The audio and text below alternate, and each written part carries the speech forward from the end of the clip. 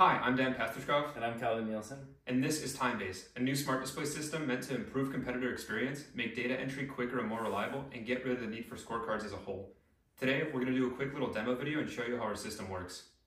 Instead of normal competitions where a competitor will walk up to the competitor waiting area and look for their name on a scorecard, with TimeBase, the competitor finds an empty cube cover and puts both their cube and their name tag inside the cube cover.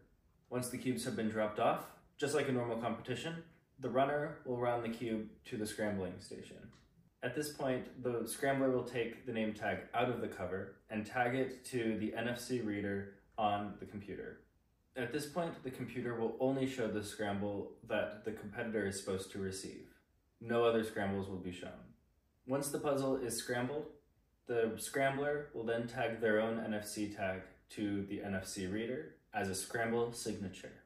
Once the scramble signature is applied, the runner can take the cover with the cube and the name tag to an open solving station. If you do decide to run your competition stationary, we encourage the use of numbered cube covers to indicate which station to bring the cube to.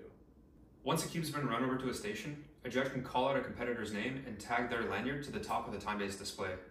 Once the competitor is ready to solve, the judge can push an inspection button on the back of the display and lift the cover, and a timer starts going up to 15 seconds, at which point a judge can still call 8 and 12 by looking at the back of the display. Once the competitor has finished inspection and they take their hands off the timer to start the solve, inspection automatically stops. From there, the timer can also apply inspection penalties after the fact.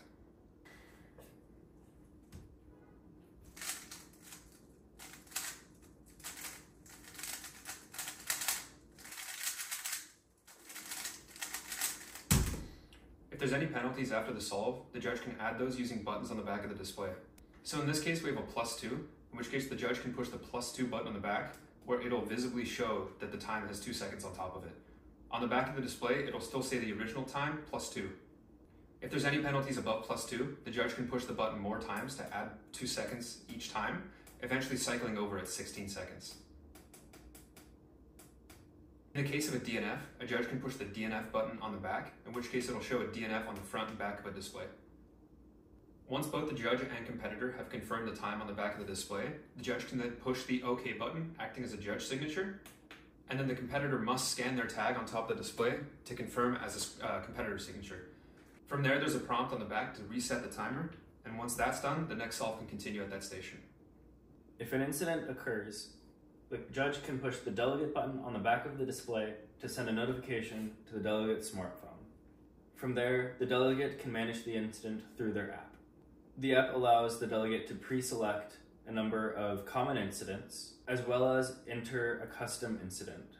The delegate has full control on whether the original time or the extra time is what is displayed in the results. If an extra is given, the scrambler will see the extra as the next solve to be given instead of the next numeric solve. The delegate app also allows penalties to be added or removed if they were incorrectly applied, as well as modifying the time if there was an error with the time. They could also administer extras through the app without the use of a delegate button. And that's pretty much the flow of a solve using our TimeBase system. Along with that, there's a couple other cool quirks and features that a system like this can provide for a competition. For one, you can have real-time data entry. As soon as a solve is okayed and signed for by a competitor, it instantly gets uploaded to a database.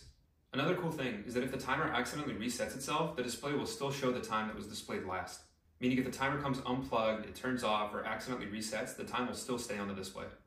Also, as far as scrambling goes, because you're only shown the one scramble that you need, you will never get any duplicate scrambles again. On top of that, you can never encounter a missing signature again. The system will not progress through a solve without certain signatures, so you'll never have a DNF because a judge didn't sign or you didn't sign. And that's more or less TimeBase. Keep in mind, this is a very rough prototype. This is the first version. All future versions will be much better and look different, have maybe a couple of different features here and there, but overall, that's the system. We plan on using this at many competitions in the future around the world, and we hope to make it more widely accessible as soon as we can. So thanks for watching, and stay tuned for future updates.